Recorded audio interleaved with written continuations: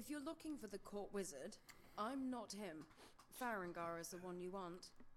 If you wish to speak with him, you'll find him somewhere in the general direction of boredom. Now, if you'll excuse me, there's this invention called wine that requires my immediate attention.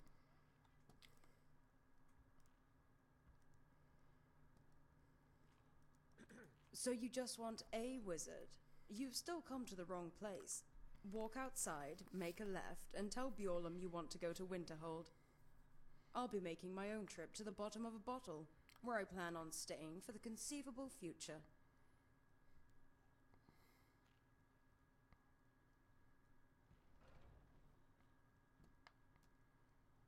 Really? Are you a wine expert by chance?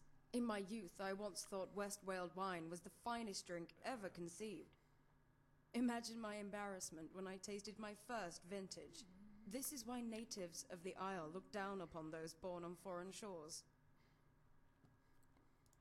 My name is Elderwin. I've come to Whiterun for the Skyforge and for Farengar. Hey, you seem to have an obsession with wine, though. I don't see that as a negative. My Nord friends often chide me for neglecting the rich history of Skyrim, as if I was ignorant of it. They say, you know, Elder, there's more to Skyrim than just alto and spiced wine. And I tell them, yes, yes, I know all about your windmills and bards and 12 different words for cold. I only care about the wine.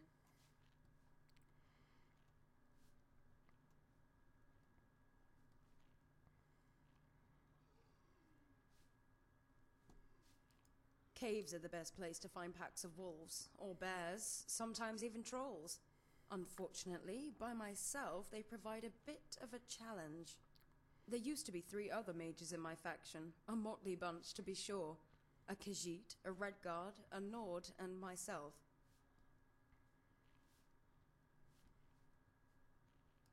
Four mages can be a formidable party, especially when their talents complement each other.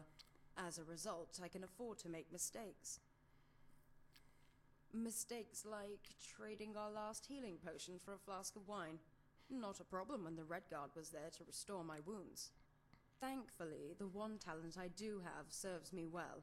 It turns out most feral beasts in Skyrim are susceptible to fire.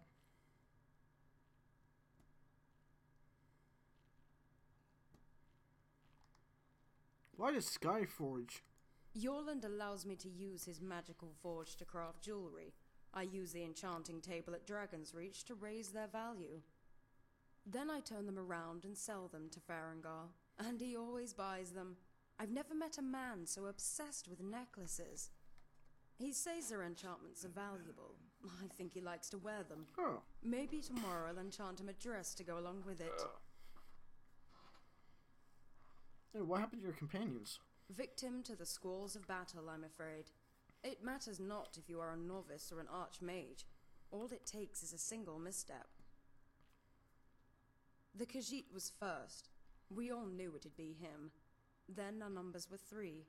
Next came the Red Guard, then the Nord, and soon only I remained. Tell me about the Khajiit. The Khajiit, Razan, was what we call a scroll mage. Not an ounce of magical talent, but one who desperately wanted to cast spells. Where he got the scrolls, he never said. I thought he stole them, but he just as easily could have spent his share of the boon. It's not as if I ever saw him at the inn. He probably got them from anywhere else, for that J'zargo. matter. He was a paranoid cat as well, with a nose for things that didn't exist. Always convinced there was a spy lurking around the corner. He should have been wary of his dealer. He purchased a bad batch of flame cloaks that ended up burning him alive. Yep, I think I know where we got this the flame cloaks, Elderwin. From our good friend J'zargo, who uh, does the same for us later in the college quest line. They have a tendency to explode. Sarasa was brash and bold, and my kind of woman. Too brash for her own good, though. She wanted to trap grand souls instead of common ones. The most plentiful source of grand souls are mammoths. The most common place to find mammoths are giant camps. Uh, of course. It was a short sighted idea. We ended up wasting all our profits on magicka potions, provided we even survived. Sarasa didn't. Giants are quite protective of their big furry cheese factories. That's one way to call them. Hi, Saadia.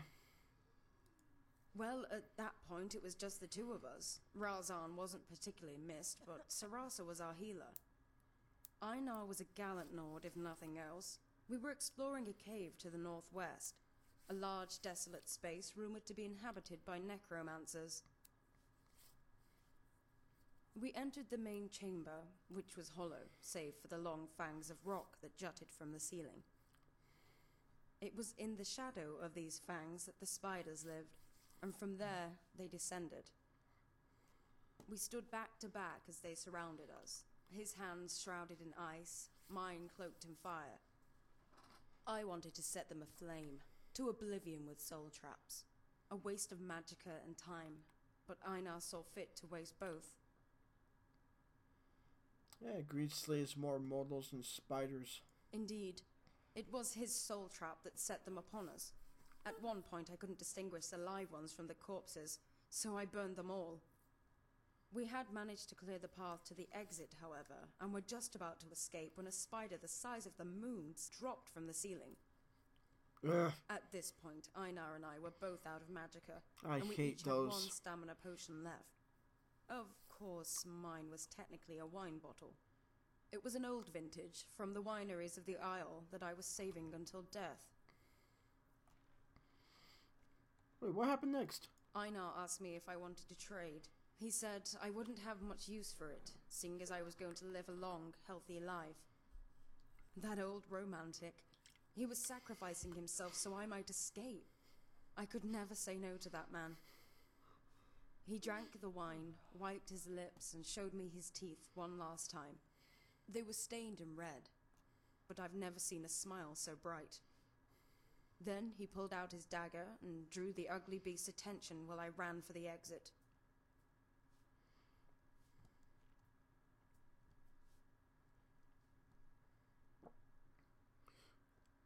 Where is it? Like I said, somewhere northeast of here. It had one of those typical Nord names like Icewind Gulch or something like that. How big were those crawlers? Big as saber cats, but those aren't the scary ones. It's the little ones that make me cast my flame cloak. The ones that crawl up your robe. Ugh, I hate them. Ugh. Frostbite spiders are. Eh. Fine, fine.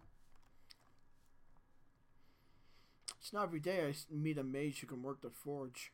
I don't really understand it myself. There should be more of me. It seems to me smithing and enchanting are two complementary skills. Yes. I can only assume it has to do with the stigma that comes with being a blacksmith. Oh yeah, because you don't want to get you don't the Nords don't. Uh, currently the Nords have this thing about magic. They say to Well, wield a hammer, you must some be as dull do. as an anvil and as strong does. as an ox. As if stupidity were a prerequisite for the craft. Although I have heard warriors talk of such things, they say the person who thinks too much on the battlefield lacks focus. In battle, having an empty mind certainly makes you more decisive, but the forge is not something that requires you to act swiftly. But I do like Hi. the notion of intelligence being a weakness.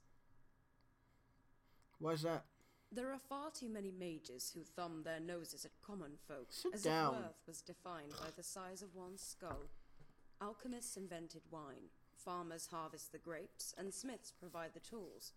So, to me, each is worth more than all the mages in Winterhold. Huh.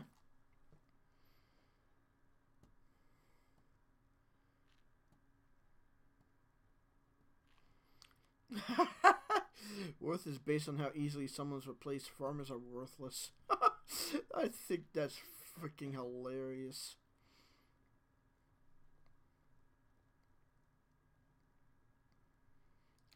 You forget how tedious farm labor is. Most of us would sooner dip our heads in the Skyforge before spending the day bent over picking crops. As I said before, the things we idolize are not often virtues. If everyone were a bard, the poetic Edda would be filled with verses about starvation. Oh, that's funny. When it comes to examining wine, I'm still just Oh, a that's novice, that is although great. I have picked up the basics.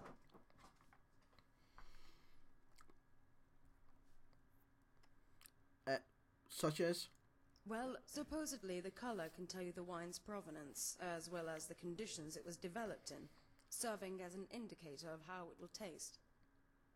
Wine tasting is apparently all about discovery, yet I've discovered that I enjoy drinking wine more than I enjoy tasting it. so let the nobles sniff and swirl their goblets. I prefer to swallow my wine like a common rube.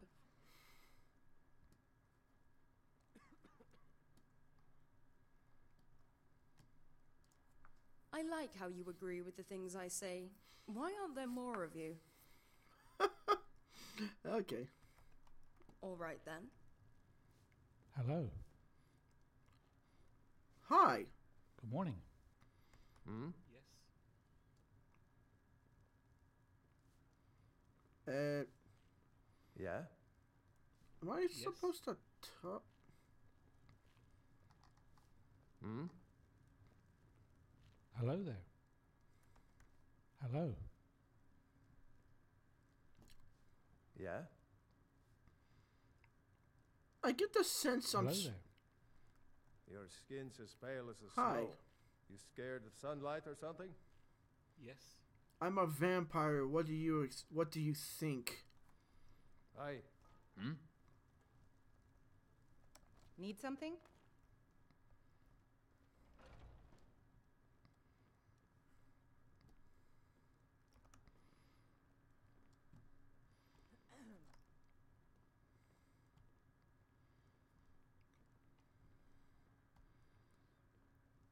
Now I'm curious. Let's hear it. Shut up.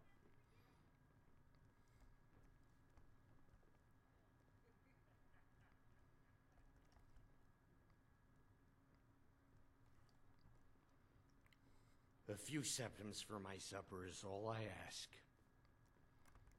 Remember, a good leader is brave but not reckless, firm but not rigid.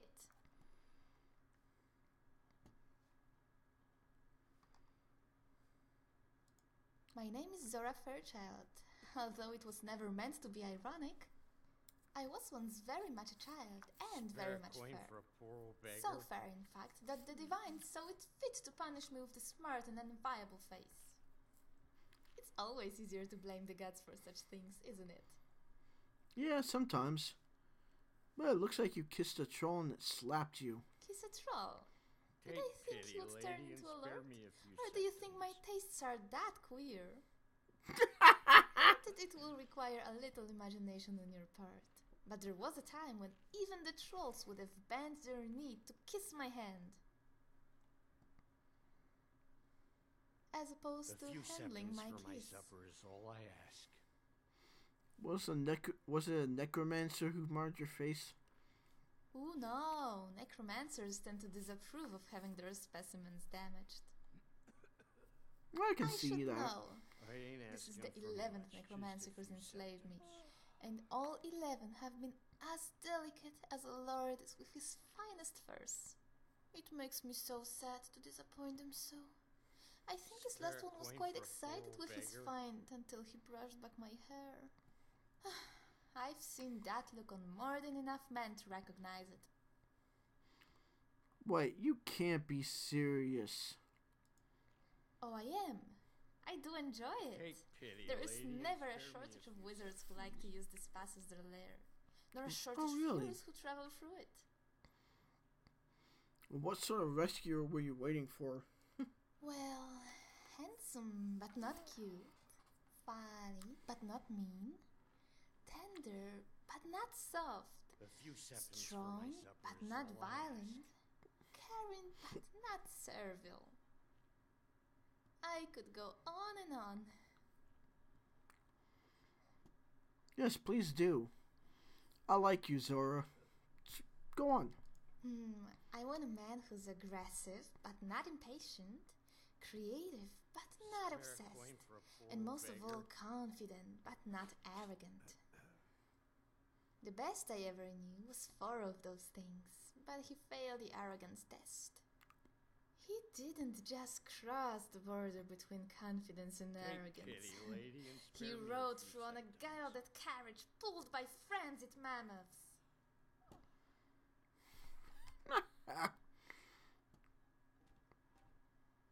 Okay, Right behind you. okay. We have someone to go pick up.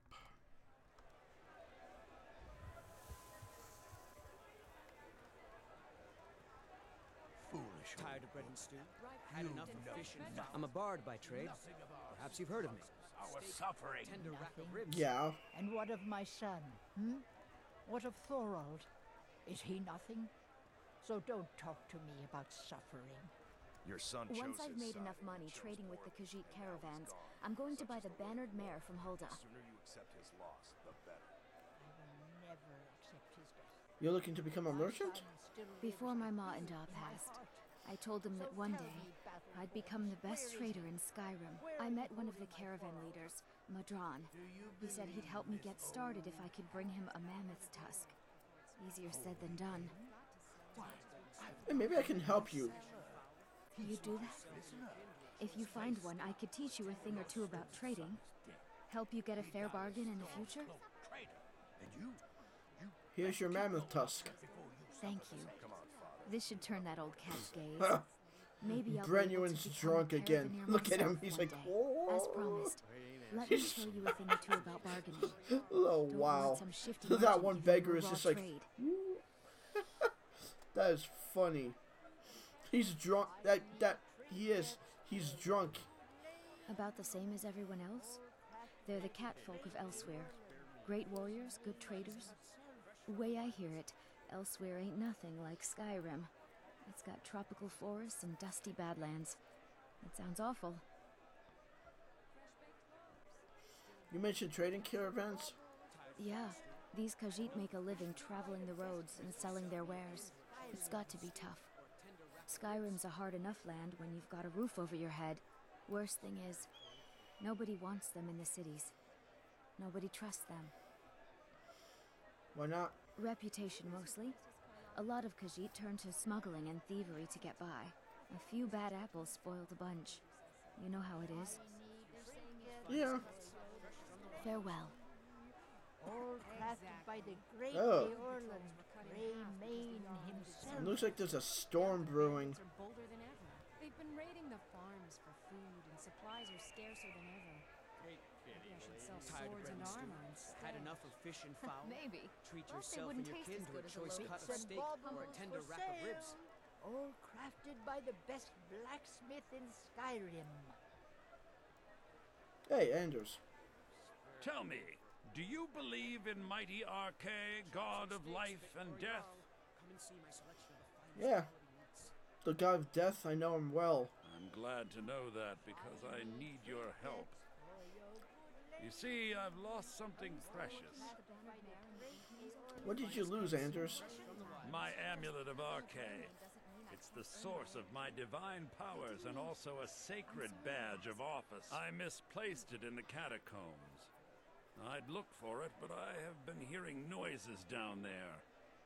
I fear the dead have become restless. Without that amulet, I'm powerless to confront them. Kin to a choice cut of Would you be willing to search for it?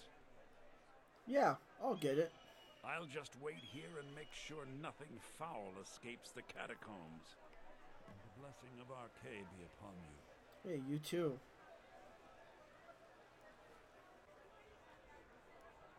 The finest cuts, fresh from the wilds. You Spare a coin for a poor old beggar. No, you need to sober up.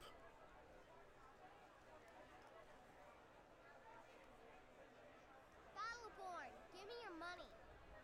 I. I don't have any money. You better give me five septims right now, or I'm gonna bloody your nose. No, please.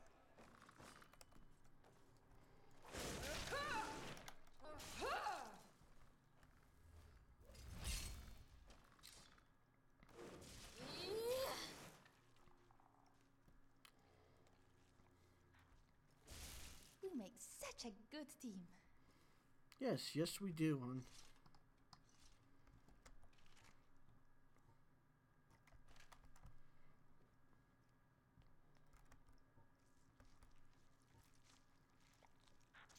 Ugh. I ne- I will never get used to that sound. I learned something from that fight. Don't get hit.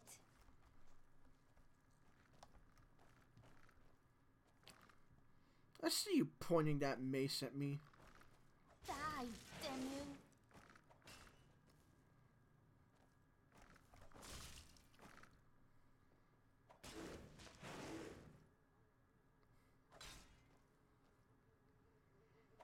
Is that it? Is that your best?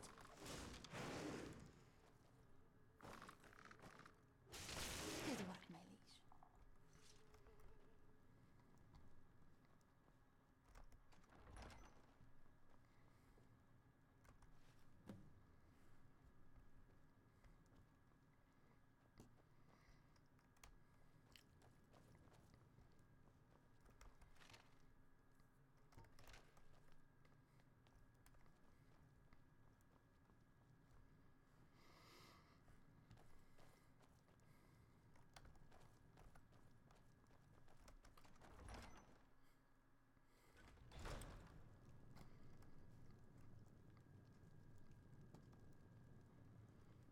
Okay.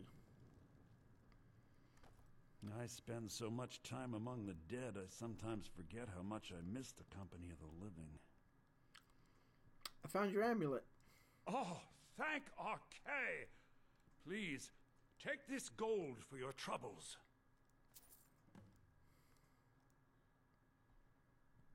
Thank you. The blessing of Arkay be upon you. What are you doing?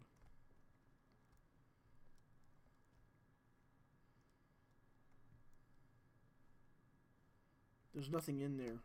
How can I help you? What's your role here at the Hall of the Dead? I study corpses. I am, after all, a priestess of Kynareth.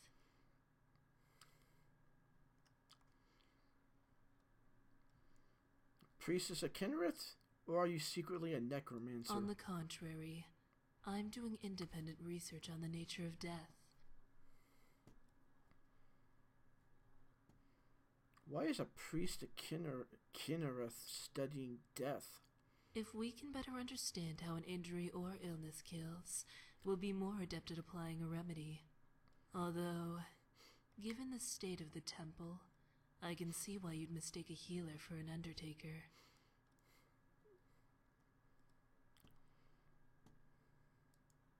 I do find humor deflects the more unsavory aspects of handling bodies.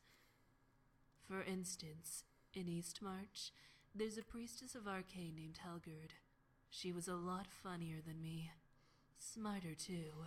She could pinpoint the cause of death by studying the corpse's exterior. She could determine the time by markers of decay. Why'd you leave Windhelm? Two reasons, really the Temple of Kynareth and the ample supply of bodies. It allows me to conduct my research while still upholding my duties as a priestess. Of course, the corpses here aren't the only specimens worth study. There's also the men. oh, wow. Any interesting news or rumors? An archer in the bannered mare mocked Uthgerd's figure. She proceeded to pummel him to death. Sense was not an arrow he had in his quiver. Farewell. I like you, Iria.